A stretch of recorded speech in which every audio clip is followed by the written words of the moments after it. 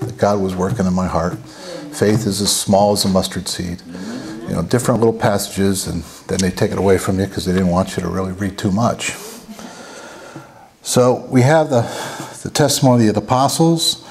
We have Paul in the epistles. We have the writer of Hebrews. God, at various times in various ways, spoke in time past to the fathers by the prophets, has in these last days spoken to us by his Son, whom he has appointed heir of all things, and through whom also he made the worlds.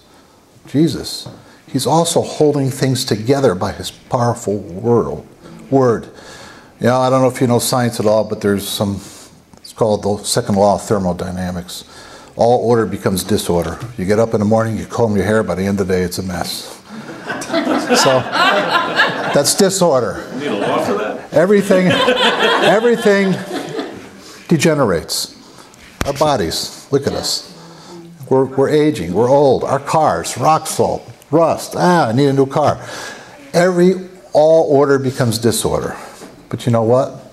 It's not happening in the universe. It's not happening. It's all held together by His powerful Word. You know, it's not spinning and spiraling all out of control. Even if you read NASA and all their, you know, doomsday things that occasionally they come up with to get more funding, but for the most part, God is holding the world together. For every house is built by someone, but who, he who built all things is God.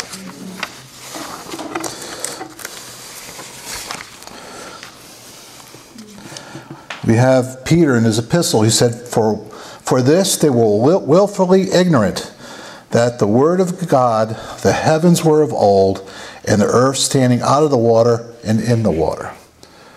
Now, people are willingly ignorant. They willingly will not listen to people talk about creation.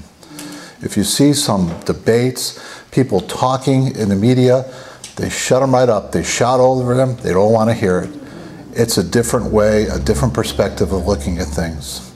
You know, I, I give it a good example. My son, you know, he's he uh, went to public school, and he had a teacher, and the teacher was teaching uh, about fossils, about historical evidence of God. And I had gone over Bible study with my son on creationism, you know, a couple years before, and a lot of it was based on The Long War Against God by Henry Morris. Excellent book if you ever you know want to read it. I have a copy.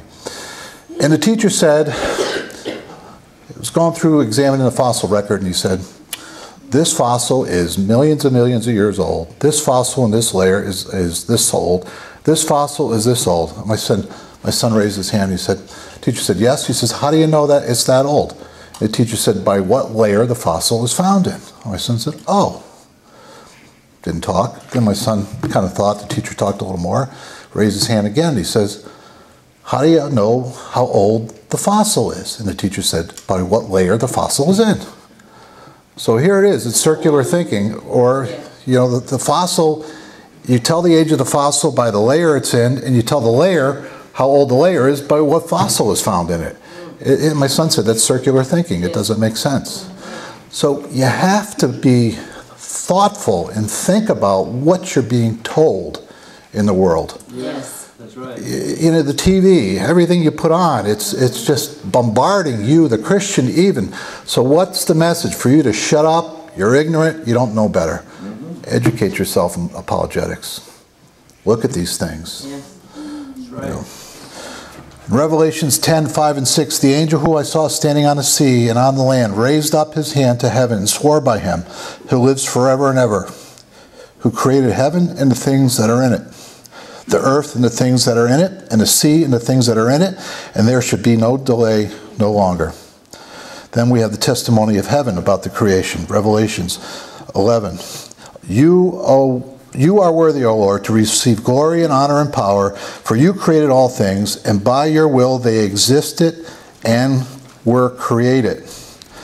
Then Revelations, I forgot I didn't write down the chapter here. Let's see. 14 7 says, saying with a loud voice, Fear God and give glory to him, for the hour of judgment has come, and worship him who has made heaven and earth, the sea, and springs of water. So the conclusion is to this part of the sermon is that The biblical answer to the question of origins is clear. Matter is not eternal, but was created by a supreme being. If you talk to someone who doesn't believe in creation, you can trace all the way back to dirt. That's why you see bumper stickers that say dirt worshiping pagan on the back of them. Because basically, in the beginning was God, or in the beginning was dirt. I believe it was God. Something had to make that matter. Matter is neither created or destroyed, as Carl and I were talking about on break. So, created it was created by the God of Israel together with the Son and Spirit, Genesis 1, Colossians 1:16. Those who believe in creation by a supreme being join those who had a great impact on the history of mankind. Moses, David, Solomon, Jesus, Paul.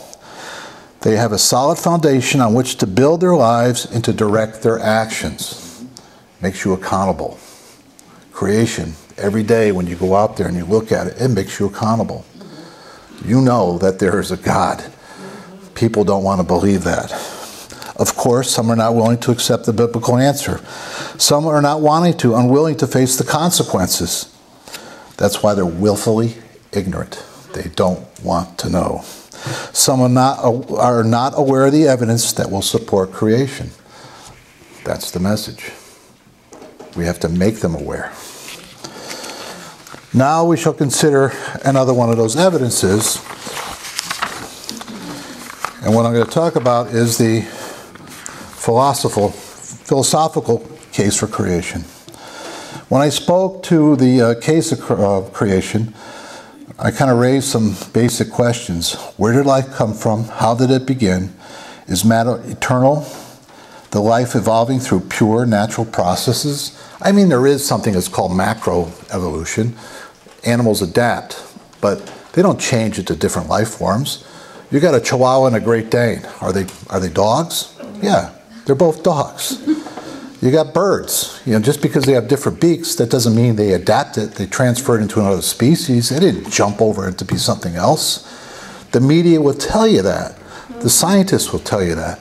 But as we kind of explore and we go through this, we see more and more scientists are starting to believe in the doctrine of creation. Every design has a creator. There's a mastermind behind everything. His name is the Lord Jesus Christ. When we review this, the biblical case for creation, which states that matter is not eternal, it was created by a spiritual being, and in the beginning, God created the heavens and the earth. He created it, He made it out of nothing. Many, of course, are not content with the simple accepting the biblical claim wanting more reasons to believe in God and creation. That's not enough. That's not enough. You could show them to your blue in the face. Right. Mockers and scorners will not inherit the kingdom of God. Amen. They will not inherit the kingdom of God. So we have the philosophical case which presents several reasons to believe in God and creation as the explanation of the origin of life. I'm just going to go through review five. Number one, the universal sense of ought. What's ought? To be morally right to indicates that somebody has a duty or obligation to do something or that is morally right to do something. To be important indicates that something is important or a good idea. That's ought. Be probable indicates probability or expectation. Everywhere people have a sense of ought, a moral code of sort that in certain uh, uh, circumstances certain things should be done. Romans 2:14 For when Gentiles who do not have the law, meaning unbelievers, by nature do the things in the law, these although not having the law are a law unto themselves. Who show the work of the law written in their hearts, their consciences are also bearing witness, and between themselves their thoughts accusing or else excusing them. That's the choice. Even among the most remote, remote tribes cut off from civilization, they know in their hearts that there's a God. They know that there's a creation. It's interesting. We I talked to a missionary once, and the word for the word is logos. And this missionary was in, I think it was in Brazil, somewhere in South America, and they were trying to translate, you know, the, the Bible into their language.